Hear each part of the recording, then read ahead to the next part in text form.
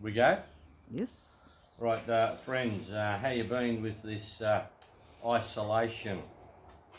So I've been stuck at home myself, and uh, in view of things, I've decided to try and make light of the situation. So, uh, since now I'm home, uh, making light of the situation, I've taken this opportunity to work on my Homelite chainsaw.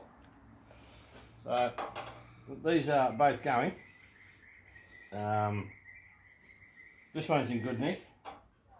This uh, I've run, I tested that. I've cut with it uh, quite some time ago, and I believe it to be okay. This one's an unknown quantity, but what I would like to sh show is a quick test on the crankshaft end float. Now, if the camera can zoom in on here,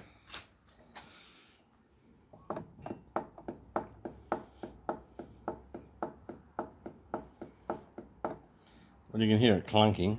I'm guessing that's about, I don't know, if I had to guess, it'd be seven to ten thousandths of uh, end float in the crank. All my Homelites have got end float, um, which is, I don't know whether it's a good thing or a bad thing, but they've got the ball bearing on the crank and then they've got the Torrington and a thrust, so they've got a pretty good crank setup. So, and these two particular ones are very early style. If camera can zoom in on this little aluminium, uh, what they call it, a stack muffler or stack exhaust. Um, it's basically straight out and very, very noisy. So, yeah, hearing protection is a must. So, um, both 16 inch bars. This has got a, a Windsor uh, speed tip on it or a replaceable uh, tip on it. This one here has just got the old uh, Stellite or Studite uh, hard hard rail on them. Uh, has the guide, has the.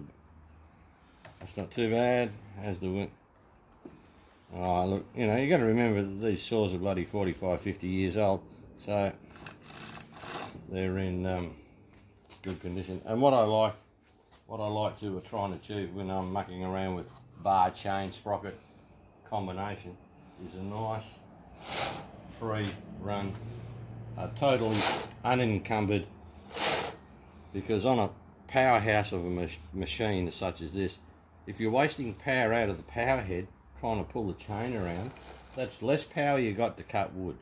So it's mandatory to have that a, a very nice free interface. So everything's married together nicely. Now, I've been at a, like I say, practicing my uh, isolation and uh, not doing much.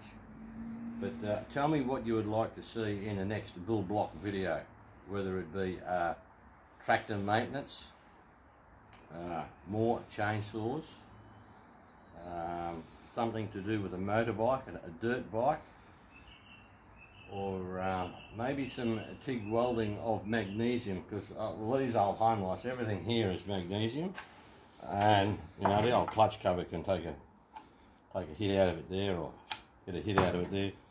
Um, I've I've actually welded a side cover that's the clutch is machined a big hole in it. So um, yeah, magnesium TIG welding of magnesium. Would you like to see some of that?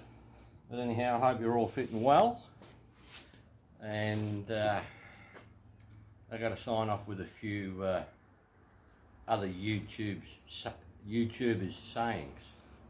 Uh, be kind. Uh, it is what it is, and uh, keep your pixels in focus. All right, this is Big Bill Block. You have a nice uh, weekend. I'll catch up with you later on. Bye for now.